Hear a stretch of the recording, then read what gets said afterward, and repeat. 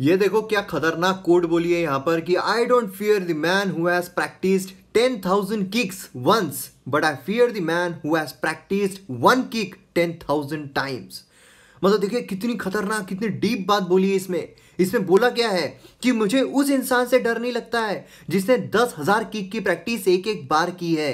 लेकिन मुझे उस इंसान से डर लगता है, जिसने एक किक की प्रैक्टिस दस हज़ार बार की है। क्योंकि जिसने दस हज़ार किक की प्रैक्टिस एक एक बार की है, वो एक भी किक में उसने मास्टरी हासिल नहीं की है। ध्यान से सुनिए, जिसने दस हज़ार किक की प्रैक्टिस की है एक एक बार उसने एक भी किक में मास्टरी हासिल नहीं की है, लेकिन जिसने एक किक की प्रैक्टिस दस हज़ार बार की है, उसने उस किक में मास्टरी हासिल कर ली है। और जब उसे वो मौका मिलेगा ना, सामने वाला चित हो जाएगा, सामने वाला उठ नहीं पाएगा। ये जब किक मारने का उसे मौका मिलेगा, क्योंकि इसे मास्टरी हासिल है, दस हज़ार बार उसने प्रैक्टिस की है। इसी तरह हम क्या करते हैं? हम ये सोर्स वो सोर्स वो सोर्स वो सोर्स हर जगह से इकट्ठा करने की कोशिश करते हैं, हर जगह से एक एक बार पढ़ लेते हैं और फिर हम सोचते हैं कि रिज़ल्ट क्यों नहीं आ रहा है। लेकिन सोचिए कि अगर आपने एक सोर्स पकड़ लिया और उसी पर आप टिके रहे, उसी को आपने बार बार बार बार रिवाइज करते रहे तो वो जो सोर्स है आपका, वो सोर्स वो सब्जेक्ट उस पर तो आपकी मास्टरी हो जाएगी। उस पर अगर कोई भी प्रश्न पूछा जाता है तो आपके मार्क बिल्कुल नहीं जाएँगे।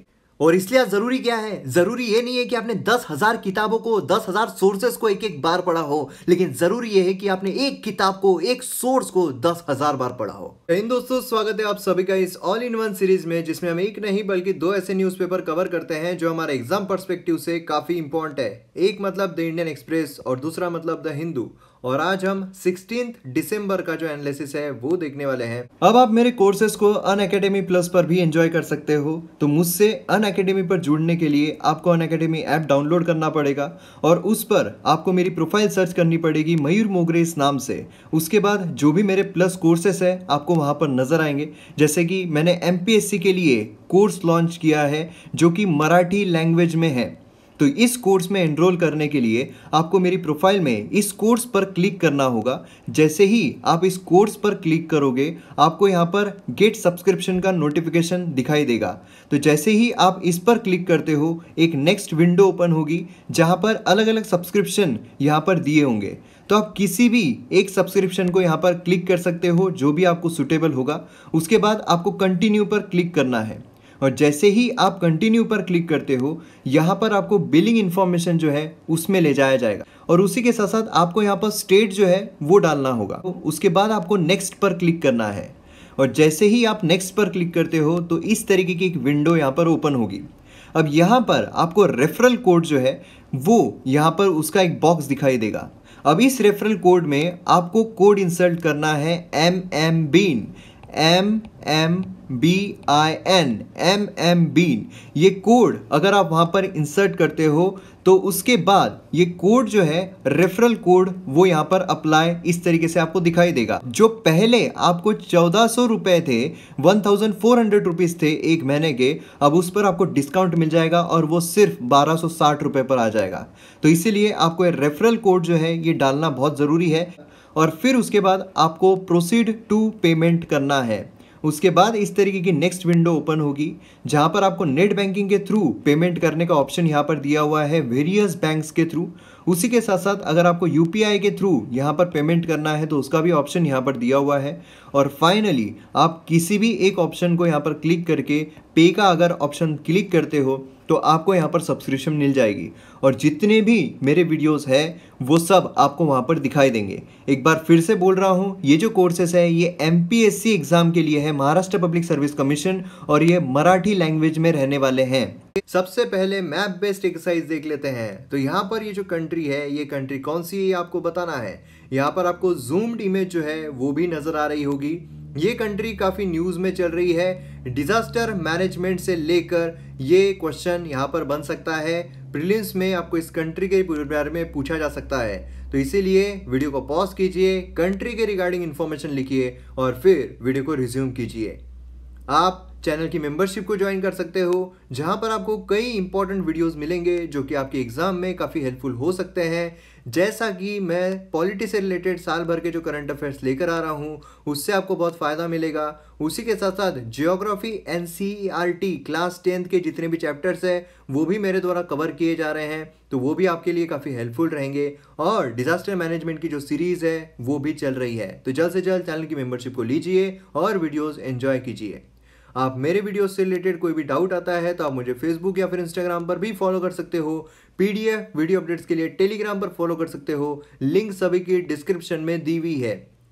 अब देखिए वीडियो जो है, वो डिले हो गया कुछ टेक्निकल रीजंस की वजह से। लेकिन इसके बारे में अपडेट मैंने ऑलरेडी टेलीग्राम पर कर दिया था। तो इसीलिए आप टेलीग्राम पर जो भी अपडेट्स आते हैं, उसके लिए फॉलो कर सकते हो। वीडियो अपडेट भी आपको वहाँ पर मिल जाएगा, कब अपलोड हुआ है, जिससे कि जैसे ही अपलोड होता है, आप वीडियो को एंजॉय कर सकते हो। अब यहाँ पर द इंडियन एक्सप्रेस का अगर हम एक्सप्लेन सेक्शन देखते हैं तो उसमें कई इंटरेस्टिंग कई इंपॉर्टेंट आर्टिकल्स नज़र आते हैं। जैसे कि ये वाला अगर आप आर्टिकल देखोगे तो इस आर्टिकल के तो हम सोल को टच करने वाले हैं। काफ़ी इंपॉर्टेंट है, काफ़ी अच्छी तरीके से गहराई में जाकर आर्टिकल को देखने की कोशिश करेंगे हाइड्रोजन पर कार कैसे रन हो सकती है। दूसरा यहाँ पर ये वाला आर्टिकल आता है क्राउन एक्ट ये क्राउन एक्ट क्या है? तो ये भी हम देख लेंगे, हमारे जीएस पेपर टू के लिए इंपॉर्टेंट है तो देख लेंगे। ये वाला जो आर्टिकल है ब्रेग्जिट स्कॉटलैंड जॉनसन ब्रिटेन ये वाला जो है, ये फ़िलहाल देखिए और जल्दबाजी होगी इस पर अगर हम अभी चर्चा करेंगे तो। जब कॉम्प्रिहेंसिव पर्सपेक्टिव हमारे यहाँ पर मिल जाएगा मतलब ब्रेग्जिट पर कुछ रिज़ल्ट आता है, उसके बाद इसे देखना काफ़ी इंटरेस्टिंग और काफ़ी दिलचस्प होगा, क्योंकि अभी कुछ भी हो जाए, उससे हमें क्या फ़र्क पड़ रहा है? लेकिन ब्रेग्जिट में अगर कुछ फ़र्क पड़ता है तो हमारे लिए इंपॉर्टेंट रहेगा। तो तब हम ये वाला आर्टिकल जो अच्छी तरीके से देखने की कोशिश करेंगे। उसी के साथ साथ ये वाला जो आर्टिकल है सिटीजनशिप के बारे में बात करता है सिटीजनशिप एक्ट के बारे में बात करता है। अब सिटीजनशिप की चर्चा पर वक्त खर्चा नहीं करना वही अच्छा है है ना? क्योंकि कॉम्प्रिहेंसिवली फोर्टीन का जो एनालिसिस था, उसे मैंने कॉम्प्रिहेंसिव तरीके से, मैंने सिटीजनशिप अमेंडमेंट बिल क्या है, वो पूरी तरीके से समझाया। सिटीजनशिप किस तरीके से एक्वायर की जा सकती है, वो पूरा एक्सप्लेन किया। उसी के साथ साथ आसाम में इतना प्रोटेस्ट क्यों देखने को मिल रहा है, वो हमने वहाँ पर काफ़ी सारी चीज़ें मतलब इससे रिलेटेड जो भी चीज़ें हैं, सब कुछ हमने ऑलरेडी कवर कर ली है। तो ये वाला आर्टिकल हो, ये वाला आर्टिकल हो सिटीजनशिप के बारे में बात करते हैं तो हम बिल्कुल देखेंगे नहीं। ये वाला जो आर्टिकल है बैंड एड तो ये हम देख लेंगे क्या है तो। जीएस पेपर थ्री के लिए इंपॉर्टेंट है। और ये वाला जो आर्टिकल है, ये भी हम देखने की कोशिश करेंगे, क्योंकि इसमें सुप्रीम कोर्ट ने जो अभी चीज़ कही है, उसके बारे में आर्टिकल बात करता है तो ये भी हम देखते हैं। अगर हम आइडिया स्पेस देखते हैं तो ये वाला आर्टिकल फिर वही सिटीजनशिप फिर वही चर्चा हम उस पर नहीं करेंगे। ये वाला जो आर्टिकल है, ये भी देख लेंगे। ये वाला आर्टिकल जो है, ये corridor of power shifting corridor of power जो है, उसके बारे में आर्टिकल बात करता है। तो मतलब क्या है, जो आर्किटेक्चरल चेंजेस है, जो ट्रांसपेरेंसी है, वो कितनी रहनी चाहिए, उसके बारे में आर्टिकल बात कर रहा है। वही द हिंदू में अगर हम देखते हैं तो ये वाला आर्टिकल फिर वही सिटीजनशिप बिल्कुल इंपॉर्टेंट नहीं है। ये वाला आर्टिकल है, जो हैदराबाद में जो रेप मर्डर अक्यूज उनका जो यहाँ पर किलिंग की गई मतलब जिसे हम एक्स्ट्रा जुडिशियल किलिंग कहते हैं, उससे रिलेटेड भी मैंने आपको पूरा कॉम्प्रिहेंसिव तरीके से समझाया हुआ है। वही ये वाला अगर आप आर्टिकल देखोगे, ये वाला आर्टिकल काफ़ी इंपॉर्टेंट है तो अच्छी तरीके से देखेंगे। इसमें बेसिकली हुआ क्या है तो लोटस का सिम्बॉल जो है, वो यहाँ पर देखने को मिला है पासपोर्ट पर। तो क्या ये सेफ्रनाइजेशन किया जा रहा है पूरे देश का पासपोर्ट का भी? तो ये इस आर्टिकल के ज़रिए हम समझने की कोशिश करेंगे कौन कौन से पासपोर्ट के टाइप होते हैं। वो भी हम इसके थ्रू समझने की कोशिश करेंगे। ये फिर ब्रिटेन के बारे में बात कर रहा है, जल्दबाजी हो जाएगी। ये वाला जो आर्टिकल है, हम नहीं देखने वाले हैं, हमारे लिए इंपॉर्टेंट नहीं है। और उसी के साथ साथ ये वाला अगर आप आर्टिकल देखते हो सिटीजनशिप अमेंडमेंट बिल के बारे में बात करता है, भैया वही चीज़ है यार, नहीं देखने वाले हैं फिर से। अब, पहला जो आर्टिकल यहाँ पर आता है, वो है the crown act the crown act basically क्या है? हमारे जीएस पेपर टू के लिए इंपॉर्टेंट है। जुलाई में इस साल क्या हुआ है? कैलिफ़ोर्निया ये पहला स्टेट बना है यूएसए का। यूएसए का पहला स्टेट हम यहाँ पर यूएसए की बात कर रहे हैं। और कैलिफ़ोर्निया यूएसए का पहला स्टेट बनता है, जिसने जो डिस्क्रिमिनेशन होता है नेचुरल हेयर उसे इलीगल बना दिया है। मतलब अब न्यूयॉर्क जो है, वो भी इसका सूट अब फॉलो कर रहा है। उसके बाद न्यू जर्सी जो है, वो भी यहाँ पर लेटेस्ट आया है यूएसए के इसमें, जिसने लेजिस्लेशन जो है, वो पास किया है। उसका नाम क्या है? Creating a respectful and open workplace for women act मतलब जिसे हम कह रहे हैं क्राउन एक्ट अब यहाँ पर जो कलर होता है हेयर का कलर होता है, उसका जो टेक्सचर होता है, उस पर यहाँ पर जो डिस्क्रिमिनेशन है वो किया जाता था। मतलब ब्लैकनेस कितनी है, उसे इक्वेट किया जाता था, जो फ़िज़िकल ट्रेड्स है डार्क स्किन है है ना? इन सबसे इक्वेट किया जाता था। और उससे जो इन्फेरियरिटी है, वो यहाँ पर ली जाती थी कि ये जो है, ये तो इन्फेरियर है, ये सब कुछ लिया जाता था। और इसीलिए यहाँ पर ये जो लेजिस्लेशन है, ये पास किया गया, जिससे कि जो डिस्क्रिमिनेशन है स्पेसिफिकली वर्क प्लेस पे, वो यहाँ पर ख़त्म किया जा सके। तो कैलिफ़ोर्निया या कहाँ पर आता है, ये हम एक बार देख लेते हैं मैप में। तो ये हमारी खूबसूरत धरती, हम जूम करते हैं तो भारत जो है, वो नज़र आता है। अब यूएसए की तरफ़ जाने के लिए हमें पूरा घूमना पड़ेगा। मतलब यहाँ पर ही अगर हमारी अर्थ है तो पूरा उल्टे साइड आना पड़ेगा। अफ्रीकन को कॉन्टिनेंट को हम पार करते हैं और यहाँ पर नीचे आपको जो साउथ अमेरिका है, वो नज़र आता है लैटिन अमेरिका और उसी के साथ साथ यहाँ पर आपको जो अमेरिका है, वो दिखाई देगा। तो ये आप देख सकते हो, ये है अमेरिका और उसी के साथ साथ यहाँ पर कॉर्नर में आपको कैलिफ़ोर्निया जो है, वो यहाँ पर नज़र आएगा। सैन फ्रांसिस्को आप देख सकते हो, सैन जोस आप देख सकते हो और उसी के पास यहाँ पर आपको डेथ वैली नेशनल पार्क जो है, वो भी दिखाई देगा। यहाँ पर आप डेथ वैली नेशनल पार्क जो है, वो भी देख सकते हो। तो ये भी काफ़ी important Death Valley National Park. तो यहाँ पर बहुत ज़्यादा डिस्क्रिमिनेशन जो देखने को मिलता था, जो कलर है हेयर कलर है उसकी वजह से। तो इसीलिए यहाँ पर लेजिस्लेशन लाया गया जिससे कि ये जो चीज़ है डिस्क्रिमिनेशन है, इसे इलीगल बना दिया जाए, है ना? तो ये एक काफ़ी इंपॉर्टेंट चीज़ हमें यहाँ पर देखने को मिलती है। अब नेक्स्ट आर्टिकल यहाँ पर आता है, कार हाइड्रोजन पर कैसे रन कर सकती है? जीएस पेपर थ्री के लिए काफ़ी इंपॉर्टेंट है। यहाँ पर मेंस के लिए भी क्वेश्चन आता है कि hydrogen fuel cell technology basically क्या है? इसके एडवांटेजेस और डिसएडवांटेजेस आप डिस्कस कीजिए। अब देखिए यहाँ पर जुलाई टोक्यो ओलंपिक्स देखने को मिलने वाले हैं। जापान जो है, ये थाउजेंड्स ऑफ़ व्हीकल जो हाइड्रोजन सेल टेक्नोलॉजी पर बेस्ड रहेगी, जिसे फ्यूल सेल कहा जाता है, वो यहाँ पर लाने वाली है। और उसी के साथ साथ सुप्रीम कोर्ट जो है, उन्होंने भी ये कहा है सरकार को कि आप यहाँ पर इस तरह की कोई फिजिबल मतलब आप ऐसी टेक्नोलॉजीज़ अगर ला सकते हो इंट्रोड्यूस कर सकते हो तो ये आप लाइए, जिससे कि हम जो एयर पोल्यूशन है, उसके साथ डील कर सकें नेशनल कैपिटल रीजन में। क्योंकि आप सभी को पता है दिल्ली में बहुत ज़्यादा पोल्यूशन देखने को मिल रहा है। तो अगर हम इस तरह की कोई टेक्नोलॉजी लाते हैं, क्योंकि ये टेक्नोलॉजी में बेसिकली होता क्या है, जो हम यहाँ पर पोल्यूटेंट देखने को मिल रहे हैं, जो पीछे से धुआँ निकल रहा है उसकी जगह पर वाटर वेपर्स निकलते हैं। जी हाँ वाटर वेपर्स निकलते हैं। और वाटर वेपर्स निकल रहे हैं, इसका मतलब क्या है? वो पोल्यूशन करेंगे क्या? जी नहीं पोल्यूशन करेंगे नहीं। इसीलिए ये जो टेक्नोलॉजी है, काफ़ी इंपॉर्टेंट रोल प्ले कर सकती है पोल्यूशन को कम करने के लिए पोल्यूशन से डील करने के लिए। और इसीलिए सुप्रीम कोर्ट ने कहा था कि ऐसी अगर कोई हम टेक्नोलॉजी लेकर आ सकते हैं तो लेकर आनी चाहिए। तो अब यहाँ पर ये यह समझना पड़ेगा हमें कि किस तरीके से टेक्नोलॉजी काम करती है और किस तरीके से यहाँ पर धुएँ की जगह पर हमें वाटर वेपर जो है, वो देखने को मिलता है। अब उसके पहले हमें ये समझना पड़ेगा कि एक जो एटम होता है, ठीक है एटम होता है, कोई भी कोई भी आप ले लीजिए मतलब एक जो स्मॉल यूनिट अगर आप देखोगे तो उसका एटम नज़र आता है। तो ये जो एटम है, इसमें हमें प्रोटॉन्स न्यूट्रॉन्स ये सेंटर में देखने को मिलते हैं न्यूक्लियस में, जिसे हम न्यूक्लियस कहते हैं। और उसके अराउंड ये रिंग हमें देखने को मिलती है, जहाँ पर इलेक्ट्रॉन्स जो है, वो हमें देखने को मिलते हैं। तो इलेक्ट्रॉन्स ये होते हैं नेगेटिवली चार्ज प्रोटॉन्स ये होते हैं पॉजिटिवली चार्ज और न्यूट्रॉन्स ये होते हैं न्यूट्रल इतना आपको समझ में आ गया? अब बढ़ते हैं आगे। अब देखिए, यहाँ पर अगर आपको इलेक्ट्रिसिटी जनरेट करनी है, ठीक है? अगर आपको इलेक्ट्रिसिटी जनरेट करनी है तो ये जो इलेक्ट्रॉन्स है, इनका फ्लो होना ज़रूरी होता है। ऊपर अगर आप देखोगे तो ये एटम है, इसमें इलेक्ट्रॉन्स फ्लो हो रहे हैं। अब इस तरीके से जब हमें फ्लोइंग इलेक्ट्रॉन मिलते हैं, क्योंकि देखिए जो भी मटेरियल होगा फॉर एग्जांपल आपने एक आयरन ले लिया तो जो इलेक्ट्रॉन्स है, वो रैंडमली इधर, उधर इधर, उधर घूम रहे हैं रैंडमली रह रहे हैं, उनकी पोजीशन रैंडम है। लेकिन अगर वो फ्लो होना शुरू हो जाते हैं ठीक है?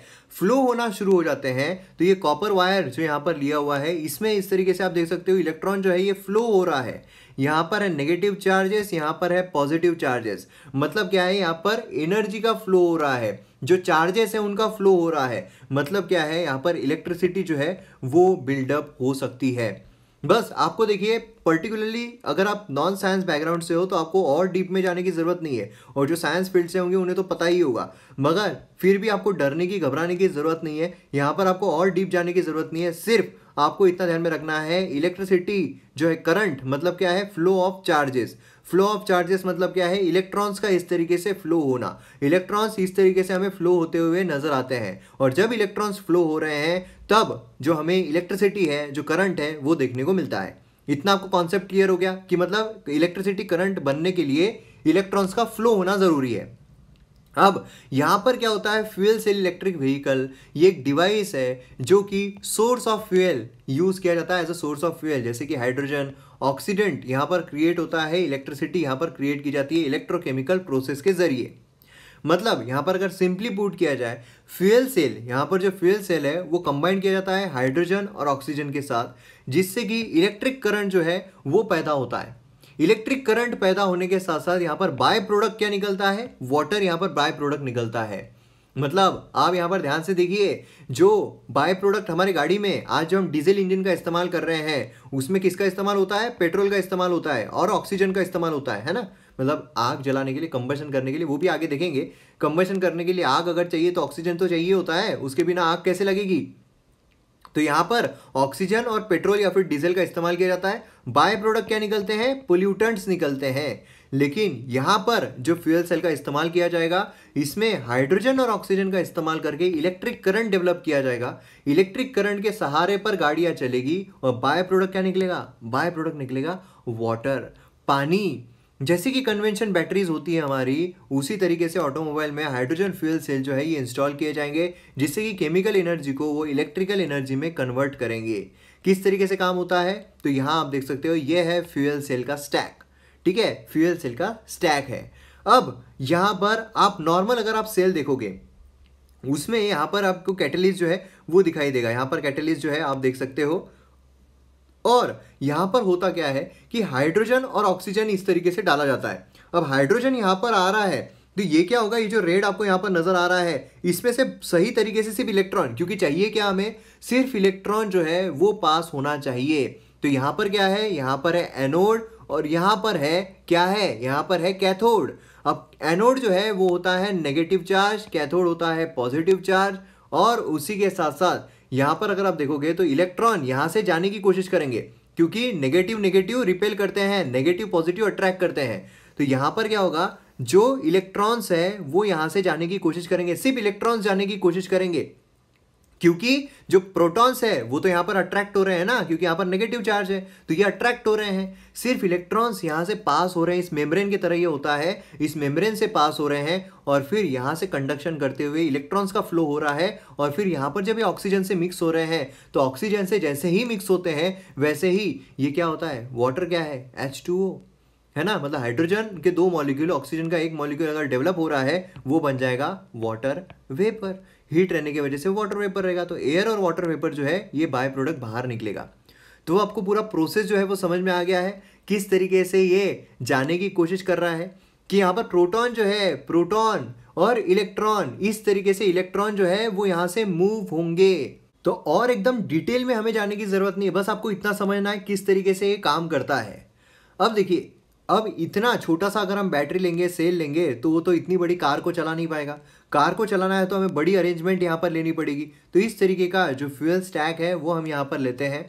और इस तरीके से इतना बड़ा जब हम लेते हैं कंबाइन करते हैं तो ये कार को भी यहाँ पर चला सकता है। इतनी इलेक्ट्रिसिटी जो है, वो यहाँ पर जनरेट कर सकता है, क्योंकि इलेक्ट्रिसिटी जनरेट करने के लिए सिर्फ़ इलेक्ट्रॉन का फ्लो हमें बढ़ाना पड़ेगा।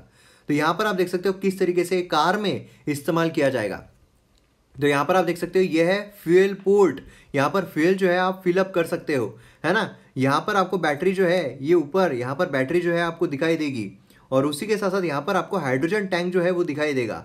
और उसी के साथ साथ यहाँ पर एक सेफ़ गार्ड जो है, वो यहाँ पर दिखाई देगा।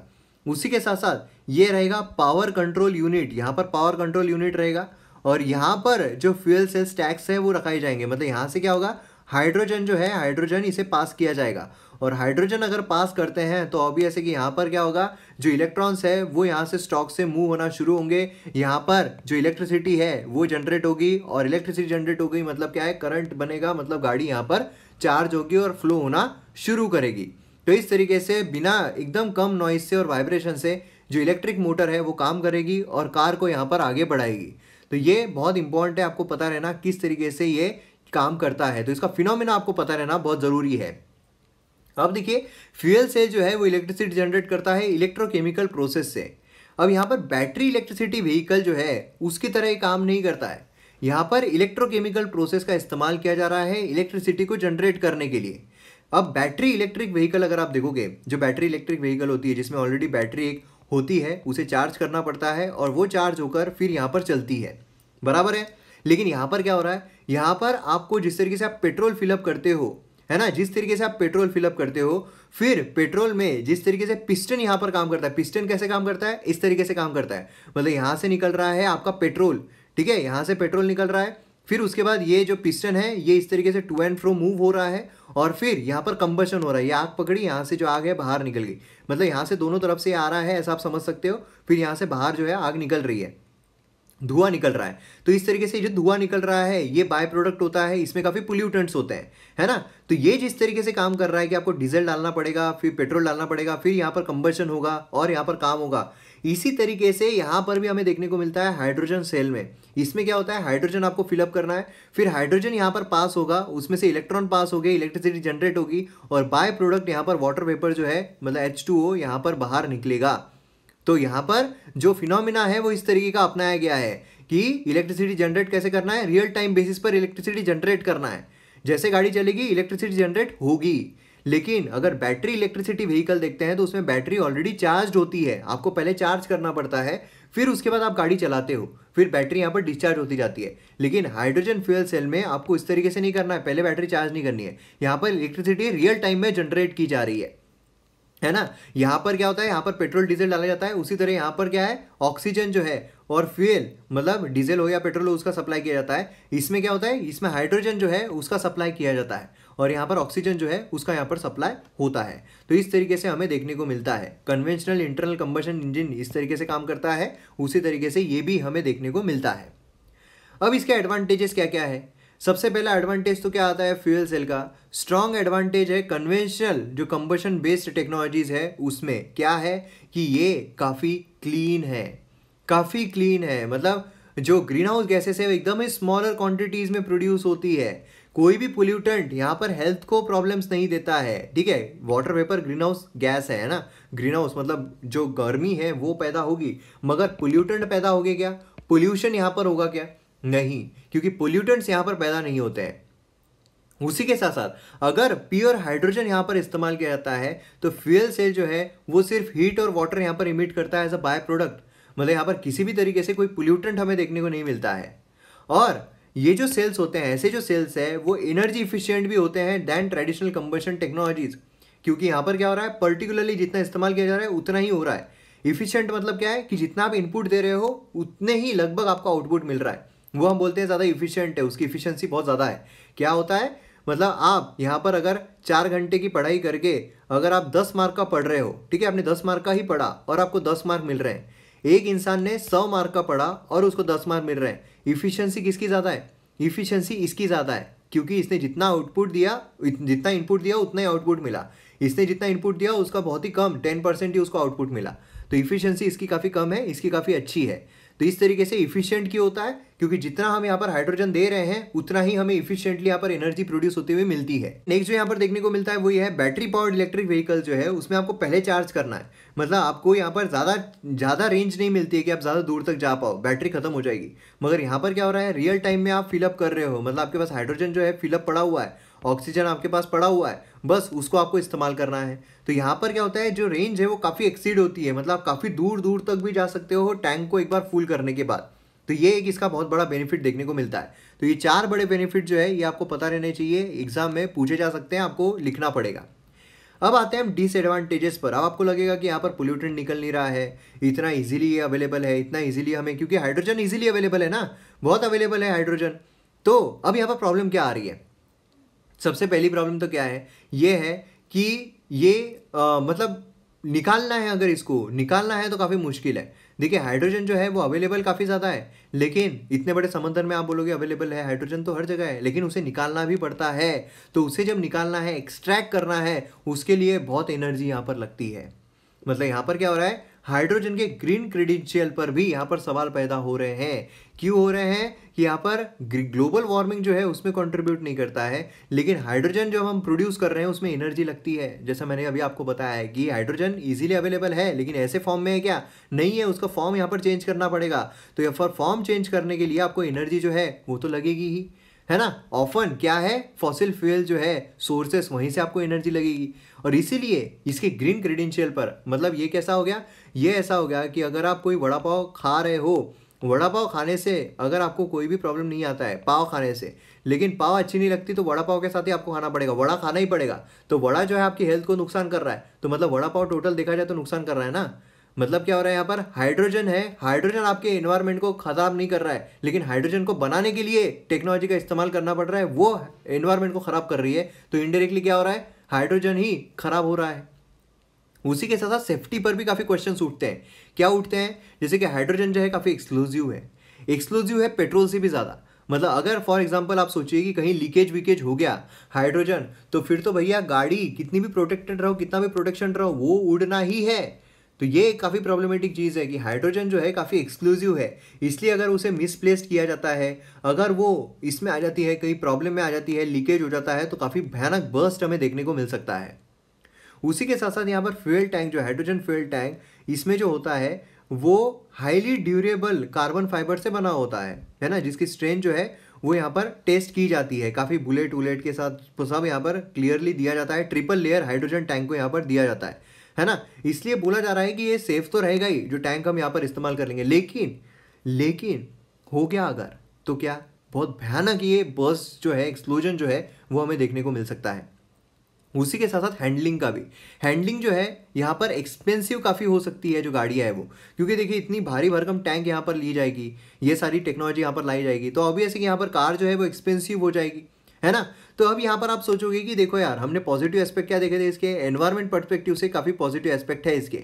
लेकिन अगर डिसएडवांटेज देखे जाए तो ये एक्सपेंसिव हो जाएगी। ये रिस्की भी है कि अगर हाइड्रोजन लीक हो गया तो फूट ही जाएगा। ये सब कुछ है। लेकिन फिर भी देखिए इसका अगर इस्तेमाल प्रॉपर तरीके से किया जाए तो एक बहुत अच्छे तरीके से जो फ्यूचर है, उसमें हमें देखने को मिल सकता है। तो ये हमें टोटल एडवांटेजेस और डिसएडवांटेजेस जो है हाइड्रोजन इसके देखने को मिलते हैं हाइड्रोजन फ्यूल सेल के। और किस तरीके से यहाँ पर कार जो है, इस पर चल सकती है, वो भी प्रॉपर तरीके से कॉम्प्रिहेंसिव तरीके से हमने यहाँ पर देख लिया है। तो मैं उम्मीद करता हूँ कि आपको पूरा कॉम्प्रिहेंसिव व्यू इसका मिल गया होगा। अब नेक्स्ट यहाँ पर आता है अ बैंड एड अब यहाँ पर बैंड एड किसके बारे में है? तो देखिए अभी हाल ही में क्या हुआ है जो नेशनल फार्माक्यूटिकल प्राइसिंग अथॉरिटी है जिसे हम एन पी पी ए कहते हैं। अब ये वाला क्वेश्चन जो है ये वाला क्वेश्चन मैंने ऑलरेडी जो कौन बनेगा आईएएस है उसमें कवर किया हुआ है। तो कौन बनेगा आई सीरीज़ अगर आप नहीं देखते हो तो वो ज़रूर देखिए उसमें जो भी करंट अफेयर्स होते हैं दिन भर के वो कवर कर दिए जाते हैं। तो एनपीपीए जो है ये आ, मतलब इसने क्या किया कि जो 21 एसेंशियल ड्रग्स थे उनकी प्राइजेस यहाँ पर मैन्युफैक्चरर को अलाउ कर दिया कि आप इसकी प्राइजेस बढ़ाइए। अब मोस्टली होता क्या है? मोस्टली होता ऐसा है कि देखिए, बहुत सारे प्राइजेस ऐसे हैं कमोडिटीज़ के। फॉर एग्ज़ाम्पल एक कैंसर की कोई दवाई है, कोई ड्रग है, उसकी अगर प्राइस बहुत ज़्यादा रख दी जाती है तो वो तो सिर्फ़ अमीरों अमीरों के लिए रहेगी, गरीबों के लिए नहीं रहेगी। तो गरीबों के लिए भी वो अवेलेबल रहे, इसलिए यहाँ पर क्या करता है नेशनल फार्माक्यूटिकल प्राइसिंग अथॉरिटी की जो प्राइजेस है, इसे कंट्रोल करता है कि अब इसकी प्राइस इतनी ही रखो। जो स्टेंट्स होते हैं स्टेंट्स मतलब क्या है? जो हार्ट अटैक आते हैं, उसमें जो साफ़ करने के लिए यूज़ किया जाता है, उसके प्राइजेस बहुत ज़्यादा लगाई जाती थी तो उससे कंट्रोल किया जाए। तो ये कौन से कंट्रोल होते हैं? जो एसेंशियल प्राइसिंग लिस्ट में होते हैं एसेंशियल जो ड्रग्स होते हैं लिस्ट होती है उसकी, एक प्रॉपर लिस्ट होती है, उसमें जो ड्रग्स दिए गए हैं, उनकी यहाँ पर जो प्राइजेस है वो कंट्रोल की जा सकती है। उसकी प्राइजेस जो है उसे ये मॉनिटर कर सकते हैं कि आप प्राइजेस कम करो। तो यहाँ पर सवाल ये आता है कि यहाँ पर क्यों फिर बढ़ाने के लिए अनुमति दी गई? क्योंकि देखिए, जो मैन्युफैक्चरर्स है, उनका ये बोलना है कि हमें पूर नहीं रहा है। मतलब हमें यहाँ पर ये हो नहीं रहा है प्रॉपर हमें वायबिलिटी दिखाई नहीं दे रही है, क्योंकि आप यहाँ पर आए गए, जो प्राइजेस है वो कम कर रहे हो। और उसी के साथ साथ हुआ क्या है तो चाइना जो है चाइना से हम बहुत सारे प्रोडक्ट इम्पोर्ट करते हैं। चाइना से जब इम्पोर्ट होता है तो ऑब्वियसली कि हमारे प्राइजेस चाइना की कमोडिटीज़ पर डिपेंडेंट है। और चाइना में क्या हुआ, बीच में ऐसा हो गया था कि क्रैकडाउन आ गया था, जिससे कि क्या हुआ प्राइजेस बहुत ज़्यादा बढ़ गई। अब यहाँ पर चाइना में प्राइजेस तो बढ़ गई। एक कम्युनिटी हम स्टेंट लेते हैं फॉर एग्जांपल के तौर पर, सिर्फ़ हाइपोथेटिकली स्टेंट लेते हैं। उसकी कीमत यहाँ पर पहले सौ रुपये थी और यहाँ पर जो प्राइस कंट्रोल है, उसके हिसाब से भी यहाँ पर सौ के आसपास जो कीमतें हैं, वो रखी गई कि आप सौ के ऊपर कीमत जो है, वो नहीं बढ़ा सकते हो। उसके बाद क्या हुआ? यहाँ पर क्रैकडाउन हो गया और स्टैंड की कीमत एकदम 200 200 रुपए बढ़ गई, ठीक है? 200 रुपए हो गई। लेकिन यहाँ पर ये सौ से ऊपर कर नहीं सकते तो इनको ये फ़ायदा हो गया क्या? नहीं तो मैन्युफैक्चरर क्या करेंगे? बनाना बंद कर दो। यहाँ पर सब कुछ बंद कर दो। और इसीलिए यहाँ पर क्या हो रहा कि ये बोल रहे हैं कि अब हमसे नया होना हो पाएगा भैया। इसीलिए फिर क्या हुआ नेशनल फार्माक्यूटिकल प्राइसिंग अथॉरिटी ने बोला कि यहाँ पर ये फिर हम ईज ऑफ़ डूइंग बिज़नेस कर रहे हैं क्या? ईज ऑफ़ डूइंग बिज़नेस नहीं कर रहे हैं, क्योंकि यहाँ पर अगर ये बोल रहे हैं कि हमसे ना हो पाएगा तो कोई इन्वेस्टमेंट आएगा क्या इसमें? इन्वेस्टमेंट नहीं आएगा। इन्वेस्टमेंट नहीं आएगा तो ऑब्वियसली कि स्लो डाउन देखने को मिलेगा। और इसीलिए यहाँ पर इन्होंने क्या किया कि ट्वेंटी वन एसेंशियल ड्रग्स जो है, उस पर फिफ्टी परसेंट तक मतलब अगर किसी के सौ रुपये थी तो वो फिफ्टी परसेंट मतलब डेढ़ सौ रुपये तक उसकी कीमत जो है, वो यहाँ पर कर सकते हैं। तो ये सारी चीज़ें हमें यहाँ पर देखने को मिली। अब एग्ज़ाम परस्पेक्टिव से इंपॉर्टेंट क्या है? नेशनल फार्माक्यूटिकल प्राइसिंग अथॉरिटी क्या है, ये समझना। तो national pharmaceutical pricing pricing authority जो है गवर्नमेंट रेगुलेटरी एजेंसी है, जो कि फार्माक्यूटिकल ड्रग्स जो होते हैं भारत में, उसके प्राइजेस को कंट्रोल करता है। ये प्राइसिंग अथॉरिटी नाम ही बताता है कि प्राइजेस को यहाँ पर कंट्रोल करेगा। है ना? 1997 में देखने को मिल और कहाँ पर? अटैच्ड है office of department of pharmaceuticals ministry of chemicals and fertilizer एक इंडिपेंडेंट रेगुलेटर है। इंडिपेंडेंट रेगुलेटर है, ये भी आपको ध्यान में रखना है। तो इसके बारे में ये इन्फॉर्मेशन आपको रहनी चाहिए, ये काफ़ी इंपॉर्टेंट हो जाता है। उसी के साथ इसके फ़ंक्शंस क्या है? कि यहाँ पर जो भी प्रोविजंस होते हैं ड्रग्स के प्राइस कंट्रोल से रिलेटेड तो ये यहाँ पर इन्फोर्स करना, उसे इंप्लीमेंट करना। लीगल मैटर जो आते हैं जो अथॉरिटी है उसके डिसीज़न में, उसे डील करना। जो अवेबिलिटी है ड्रग्स की, उसे मॉनिटर करना। शॉर्टेज अगर होता है, उसे आइडेंटिफाई करना और बताना कि यहाँ पर शॉर्टेज हो रहा है और ये ड्रग्स की हमें ज़रूरत है। उसी के साथ साथ यहाँ पर जो डाटा है प्रोडक्शन पर, उसे मेंटेन करना। एक्सपोर्ट और इंपोर्ट जो होता है ड्रग्स का, उसे मेंटेन करना। मार्केट शेयर जो होते हैं इंडिविजुअल कंपनीज़ के, वो यहाँ पर देखना। प्रॉफिटेबिलिटी जो है कंपनीज़ की, वो यहाँ पर देखना। और बल्क ड्रग्स फॉर्मेशन जो है, वो यहाँ पर, उस पर नज़र रखना। उसी के साथ साथ यहाँ पर स्पॉन्सर रिलेवेंट स्टडीज़ जो है, वो यहाँ पर अंडरटेक करना। प्राइसिंग ऑफ़ ड्रग्स और फार्माक्यूटिकल जो होती है उसकी। उसी के साथ साथ यहाँ पर स्टाफ मेंबर जो होते हैं, उनका यहाँ पर अपॉइंटमेंट है ना? रिक्रूट करना ऑफिसर्स को स्टाफ मेंबर्स को। उसी के साथ साथ यहाँ पर जो एडवाइस है सेंट्रल गवर्नमेंट को, वो रेंटर करना, जिससे कि ड्रग पॉलिसीज़ में अगर उन्हें कोई चेंजेस करना है तो। उसी के साथ साथ सेंट्रल गवर्नमेंट जो है, उन्हें यहाँ पर असिस्टेंस प्रोवाइड करना कि क्या क्या असिस्टेंस लगेगा क्या क्या इसमें प्रॉब्लम्स आएँगे, वो सब कुछ यहाँ पर देखना। तो ये आठ इसके फ़ंक्शंस है जो कि आपको प्रॉपर तरीके से पता रहना बहुत ज़रूरी है। अब नेक्स्ट आर्टिकल यहाँ पर बात करता है साइन और सिंबल में डिफरेंस क्या है? मतलब बेसिकली जो यहाँ पर अभी लोटस का सिंबल नज़र आया है पासपोर्ट पर, उसके बारे में पूरी कंट्रोवर्सी निकली है और इसीलिए उस बारे में आर्टिकल जो है बात कर रहा है। जीएस पेपर टू के लिए काफ़ी इंपॉर्टेंट है। अब देखिए, हमारे लिए समझना क्या ज़रूरी है एग्ज़ाम परस्पेक्टिव से? कौन कौन से टाइप के पासपोर्ट होते हैं? तीन तरीके के पासपोर्ट हमें भारत में देखने को मिलते हैं। एक होता है डार्क ब्लू कलर का, एक होता है व्हाइट कलर का और एक होता है महरूम कलर का। डार्क ब्लू कलर का जो है रेगुलर इंडियन पासपोर्ट है, सभी को मिलता है। मतलब यहाँ पर जो आम नागरिक है, उसे यहाँ पर पासपोर्ट मिलेगा। अगर आप यहाँ पर कोई ऑफिशियल हो मतलब फॉर एग्ज़ाम्पल अगर आपने कोई यूपीएससी एग्ज़ाम क्लियर कर ली, या फिर कोई भी सरकार में अगर आप कुछ काम कर रहे हो तो उन्हें व्हाइट कलर का पासपोर्ट जो है, वो यहाँ पर दिया जाता है। और उसके बाद इसे एस पासपोर्ट भी कहते हैं एस टाइप उसी के साथ साथ यहाँ पर जो डिप्लोमेट्स होते हैं फॉर एग्ज़ाम्पल अगर आपने यूपीएससी क्लियर कर ली, और यूपीएससी क्लियर करने के बाद आप आईएफएस बन गए इंडियन फॉरेन सर्विस आपने ऑप्ट की, और उसके बाद आपको यहाँ पर मैरूम कलर का पासपोर्ट जो है, वो मिलेगा डिप्लोमैट ये तौर पर कि आप डिप्लोमैट हो तो आपको महरूम कलर का मिलेगा। तो ये तीन तरीके के पासपोर्ट जो है, आपको दिखाई देते हैं। अब नॉर्मली देखा जाए, सबसे ज़्यादा पासपोर्ट यहाँ पर जो डार्क ब्लू कलर के हैं, वही स्प्रेड होते हुए नज़र आते हैं, क्योंकि वही बहुत लोगों को चाहिए होते हैं। अब हुआ क्या है कि आप यहाँ पर देख सकते हो, यहाँ पर जो लोटस है लोटस की फिगर आपको यहाँ पर नज़र आ रही होगी, और ये सिक्योरिटी पर्पस के लिए यहाँ पर लाई गई है, ऐसा बोला जा रहा है।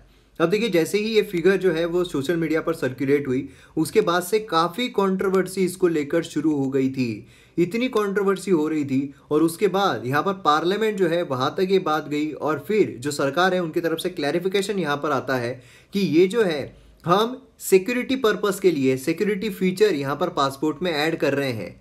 और जो भी यहाँ पर नेशनल चीज़ें होती है नेशनल सिंबल हो जाए नेशनल फ्लावर हो जाए, क्योंकि अगर लोटस देखा जाए तो ये हमारा नेशनल फ्लावर है। इसी के साथ साथ अलग अलग जो चीज़ें हैं, जैसे कि फॉर एग्जांपल नेशनल बर्ड हम इस्तेमाल कर लेंगे नेशनल एनिमल हम इस्तेमाल कर लेंगे तो ये सारी चीज़ें हम इस्तेमाल करने वाले हैं आए महीनों में। पहले यहाँ पर हम नेशनल जो हमारा फ्लावर है, उसका इस्तेमाल कर रहे हैं, इसलिए आपको लोटस यहाँ पर दिखाई दे रहा है, और ये पता करने के लिए कि ये पासपोर्ट ऑथेंटिक है या नहीं है। अब देखिए यहाँ पर नेशनल सिंबल्स अगर हम देखते हैं इंडिया के तो यहाँ पर हमें जो नेशनल एनिमल है, वो देखने को मिलता है रॉयल बंगाल टाइगर उसी के साथ साथ नेशनल एम्बलेम हमें इंडिया का नेशनल एम्बलेम ये देखने को मिलता है। नेशनल फ्लैग है यहाँ पर तिरंगा, है ना? नेशनल करेंसी यहाँ पर रुपी है। नेशनल बर्ड अगर हम देखते हैं तो वो है पिकॉक उसी के साथ साथ नेशनल फ्रूट अगर हम देखते हैं तो वो है मैंगो नेशनल ट्री अगर हम देखते हैं तो वो है बनियान नेशनल फ्लावर अगर हम देखते हैं तो वो है लोटस नेशनल रेप्टाइल अगर हम देखते हैं तो वो है किंग कोबरा देखिए, ये काफ़ी चीज़ लोगों को पता नहीं होता है। नेशनल रेप्टाइल अगर हम देखते हैं तो वो है king cobra national heritage animal अगर हम देखते हैं तो वो है एलिफेंट नेशनल एनिमल क्या है? Royal Bengal tiger national heritage animal देखा जाए तो वो है elephant father of the nation Mahatma Gandhi है। नेशनल एक्वाटिक एनिमल अगर देखा जाए तो वो है गंगेटिक डॉल्फिन्स और इंडिया का वंडर ऑफ़ द वर्ल्ड देखा जाए तो वो है ताजमहल नेशनल रिवर अगर देखा जाए तो वो है गंगा तो यहाँ पर जो सरकार है, उनके द्वारा बोला गया कि यहाँ पर हमने जो लोटस है, वो लिया है नेशनल फ्लावर के तौर पर। और इसी तरीके से जो भी नेशनल सिम्बॉल्स है, वो अलग अलग इसमें आए महीनों में हम यहाँ पर डालते रहेंगे फॉर अ सिक्योरिटी पर्पज लेकिन उसके बाद भी यहाँ पर जो चीज़ें हैं, वो रुकी नहीं। क्योंकि एक तो अगर आप देखोगे बीजेपी जो है, उनका यहाँ पर जो सिम्बॉल है, वो भी है लोटस है ना? तो इसी के साथ साथ यहाँ पर ये बोला जा रहा है कि क्या ये सेफ्रनाइजेशन करने का काम चल रहा है? यहाँ पर। और उसी के साथ साथ दूसरी चीज़ ये भी निकल कर आई कि आपने इसको नोटिफाई नहीं किया है ऑफिशियली अगर देखा जाए तो नेशनल फ्लावर्स है, उसे ऑफिशियली यहाँ पर लोटस करके नोटिफाई नहीं किया गया। तो फिर आप जिसे नोटिफाई नहीं किया, फिर आप यहाँ पर सिक्योरिटी पर्पज के लिए कैसे डाल रहे हो, ये भी सवाल यहाँ पर कई ज़्यादा उठने को और देखने को मिले। अब देखिए यहाँ पर जो ऑथर है, जो यहाँ पर आर्टिकल जिन्होंने लिखा है, उन्होंने यहाँ पर बेसिकली साइन और सिंबल दोनों में डिस्टिंग्विश किया है। तो ये आपको इसके बारे में पता रहना चाहिए, क्योंकि प्रीलियम से पूछा जा सकता है साइन क्या होता है और जो सिंबल है वो क्या होता है। इतना ही हमें एग्ज़ाम परस्पेक्टिव से जानने की यहाँ पर ज़रूरत है, बाकी कुछ जानने की ज़रूरत नहीं है। साइन जो है उसका एक सिंगुलर मीनिंग होता है। साइन का एक सिंगुलर मीनिंग है। एक साइन करती मतलब एक सिंगल मीनिंग है उसका, और यूनिवर्सल इसके लिए सिंगल मीनिंग रहेगा। लेकिन जो सिंबल होता है, उसके मल्टीपल मीनिंग्स होते हैं। उसके कॉन्टेक्स्ट शिफ्ट होते हैं, उसके मीनिंग चेंज होते हैं। फॉर एग्ज़ाम्पल रेड कलर अगर देखा जाए तो ये स्टॉप का एक साइन है ट्रैफ़िक में। लेकिन फर्टिलिटी का सिंबल है हिंदुइज्म में। चाइना में देखा जाए तो ये डेविल जो सेंट डेविल और स्कैरलेट वुमेन है, उसका एक सिंबल है। और क्रिश्चियनिटी में देखा जाए तो सेंटा क्लॉज जो है, उसका एक सिंबल है। मतलब समझ रहे हो? कि यहाँ पर अगर रेड देखा जाए तो साइन हर जगह सेम है। कि ये स्टॉप का साइन है। हर कोई मतलब क्रिश्चियन हो, या फिर चाइनीज़ हो, या फिर हिंदू हो कोई भी वहाँ पर रुकेगा, क्योंकि वो एक साइन है, सबके लिए सेम है, लेकिन सिंबल ये अलग अलग होता है। सिंबल के रूप में अगर रेड कलर देखा जाए तो ये अलग अलग होता है। चाइना में देखा जाए डेविल का होता है फर्टिलिटी का सिंबल होता है हिंदुइज्म में तो कॉन्टेक्स्ट इसका अलग हो जाएगा अलग अलग इसमें अलग अलग रिलीजन में जाएँगे अलग अलग कंट्रीज़ में जाएँगे कॉन्टेक्स्ट चेंज होता रहेगा। तो ये फ़र्क होता है साइन में और सिंबल में।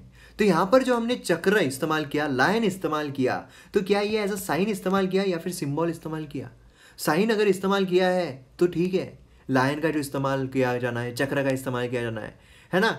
मतलब ये जो चीज़ें हैं कॉन्स्टेंटली सिर्फ़ लाइन ही नहीं जो भी चक्र है, ये कौन सा है? अशोक चक्र है है ना? मतलब कोई भी चक्र हमने यहाँ पर उठा नहीं लिया है, अशोक चक्र यहाँ पर नाम बताता है। और जो कि फ़र्स्ट हिस्टोरिक एम्पायर था इंडिया का मौर्यन एम्पायर है ना? उनका यहाँ पर किंगडम था। और क्या यहाँ पर अशोक जो है, क्या वो सेम सिंबल को उसी रूप में देखता है जो इंडियन देखते हैं? है ना? जो मतलब फ्रीडम स्ट्रगल के दौरान जो लोगों ने देखा था चक्र का इस्तेमाल, चक्र जो है पहिया चलता रहता है। तो उसी उसी पर्सपेक्टिव में क्या अशोक ने भी उस चक्र को देखा होगा, जब वो चक्र बनाया होगा? तो क्या हम उसे एज अ सिंबल इस्तेमाल कर रहे हैं या एज अ साइन इस्तेमाल कर रहे हैं? ये भी समझना ज़रूरी है ना? अगर हम इसे एज अ साइन इस्तेमाल कर रहे हैं तो ठीक है, हम जो पर्सपेक्टिव उसे देख रहे हैं यूनिवर्सल वही पर्सपेक्टिव होता है। लेकिन एज अ सिंबल अगर हम देखते हैं, फिर तो अलग अलग हो जाएगा। फिर तो यहाँ पर भी धर्म आ जाएगा। अशोक जो है वो हिंदू था तो फिर फिर क्या हम हिंदू चीज़ें ही इस्तेमाल कर रहे हैं हमारे नेशनल लिम्स में? ये भी प्रॉब्लम आ जाएगा। हमारा नेशनल एम्बलम क्या सिर्फ़ हिंदू है? ये भी वहाँ पर चीज़ें आ जाएगी। तो यहाँ पर सबसे बड़ा प्रॉब्लम यह आता है कि हम, हमारे जो भी हेरिटेजेस है, उसमें जो हम चिन्ह इस्तेमाल कर रहे हैं, वो साइन है या फिर सिंबल है। लेकिन हमें बेसिकली डिफरेंस क्या पता होना चाहिए यहाँ पर कि साइन या फिर सिंबल इन दोनों में डिफरेंस क्या होता है। अब यहाँ पर नेक्स्ट आर्टिकल जो है, वो आता है रियलाइजेशन नॉट रिफॉर्म मतलब ये क्या है, हमारे जीएस पेपर टू के लिए इंपॉर्टेंट है। अभी देखिए, अभी रिसेंटली क्या हुआ, सुप्रीम कोर्ट ने जो सबरीमाला केस हुआ तो लार्जर कॉन्स्टिट्यूशनल बेंच को दिया। और उसमें उन्होंने कहा कि जेंडर इक्वलिटी जो है, उसका इशू है। और उसी के साथ साथ जेंडर इक्वलिटी के बाकी जो इश्यूज़ है, वो भी उन्होंने इंक्लूड किए। जैसे कि वुमेन जो है, वो मॉस्क में एंटर करने में अलाउड नहीं किया जाता है। तो ये भी चीज़ उन्होंने इंक्लूड की। इसीलिए यहाँ पर जो ऑथर है, वो यहाँ पर बताना चाहती है कि यहाँ पर जो इंटरप्रिटेशन सुप्रीम कोर्ट के द्वारा किया गया है स्पेसिफिकली जो वुमेन को मॉस्क में एंटर नहीं होने देते हैं, उसके सिलसिले में तो ये सीधे तरीके से गलत है। यहाँ पर मॉस्क में बिल्कुल जो वुमेन्स है उन्हें एंटर करने दिया जाता है। और यहीं पर उन्होंने अलग अलग जो है एग्जाम्पल्स दिए हैं। जैसे कि इस्लाम में कोई रिस्ट्रिक्शन नहीं है वुमेन के एंट्री पर मॉस के लिए। और इसका बिगेस्ट लिविंग प्रूफ जो है वो है मस्जिद अल हरम मक्का में जो हमें देखने को मिलता है। और ये होलियस्ट साइट है मुस्लिम्स के प्रेयर के लिए। और थाउजेंड्स ऑफ़ महिलाएँ जो है, वहाँ पर जाकर, उनके जो हॉल है मॉस का, वहाँ पर जाकर प्रे करती है फाइव टाइम्स एवरी डे तो इससे हम ये बता सकते हैं कि यहाँ पर महिलाएँ जो है, जो वुमेन है, उन्हें यहाँ पर मॉस में एंटर करने के लिए कोई भी प्रॉब्लम नहीं है। उसी के साथ साथ क्वेश्चन ये भी रेज होता है कि यहाँ पर सेपरेट डेसिग्नेटेड एरिया होता है महिलाओं के लिए। मतलब यहाँ पर जो पुरुष है और जो महिला है, उनके लिए सेपरेट एरिया होता है कि वो नमाज़ वहाँ पर पढ़ सके ऑफ़र कर सके। तो ये एक डिस्क्रिमिनेटरी एक्ट है। ऐसा भी क्वेश्चन जो है वो रेज किया जाता है। लेकिन इनफैक्ट यहाँ पर ऑथर के द्वारा क्या बोला गया है कि यहाँ पर एवरी फ्रैक्शन ऑफ़ स्पेस जो है मॉस के अंदर की, वो इक्वल वैल्यू रखती है वर्शिप के टर्म्स में। मतलब इस तरह कोई भी सैंक्टम यहाँ पर हमें दिखाई नहीं देता है। मतलब अगर महिलाएँ आती है तो उनके लिए भी यहाँ पर जो है, वो जगह दी गई है कि वो यहाँ पर आकर प्रे कर सके और मेल जो है, उनके लिए भी दी गई है। और मॉस में एंट्री के लिए तो बिल्कुल महिलाएँ जो है, उन्हें यहाँ पर नहीं रखा जाता है अलग और उन्हें रिस्ट्रिक्ट जो है, वो नहीं किया जाता है। इसलिए सुप्रीम कोर्ट के द्वारा जो भी चीज़ें यहाँ पर बोली जा रही है, सबरीमाला इशू को लेकर के जेंडर इनक्वालिटी का केस है। सेम उसी तरह जिस तरीके से इस्लाम में हमें जो महिला है, उन्हें रोका जाता है, उसी के साथ साथ सेपरेट उन्हें डेसिग्नेट एरिया दिया जाता है प्रे करने के लिए। तो ये भी डिस्क्रिमिनेटरी एक्ट है। ये सीधे तरीके से ऑथर ने यहाँ पर खारिज किया है, गलत बोला है। तो फाइनली हम यहाँ पर हमारी मैप बेस्ड एक्सरसाइज पर आते हैं। तो ये हमारी खूबसूरत धरती हम जूम करते हैं तो हमें भारत नज़र आता है। और वो कंट्री तक पहुँचने के लिए हमें ईस्ट में जाना पड़ेगा। तो ये हम ईस्ट में आ गए और यहाँ पर आप देखोगे तो कंट्री आपको दिखाई देगी, वो है फिलीपींस फिलीपींस वो कंट्री है जो मैंने आपसे मैप में पूछी थी, क्योंकि यहाँ पर हमें जो अर्थक्वेक्स है, वो देखने को मिल रहे हैं। इसीलिए यहाँ पर आप देख सकते हो जो सबसे इम्पोर्टेंट साइट है, वो है मनीला है ना? मनीला है। तो ये काफ़ी इंपॉर्टेंट है। तो ये भी आपको पता रहना चाहिए फिलीपींस उसी के साथ साथ साउथ चाइना सी को लेकर यहाँ पर जो प्रॉब्लम्स है, वो चलते ही रहते हैं। तो इसीलिए इसके बारे में आपको पता रहना बहुत ज़रूरी है और मैं उम्मीद करता हूँ कि आपने इसके बारे में जो कमेंट सेक्शन है उसमें लिखा ही होगा। तो ये हमारे वीडियो का एंड वीडियो अगर आपको पसंद आता है तो आप शेयर ज़रूर कीजिए। मिलते हैं हम अगले वीडियो में। जय हिंद।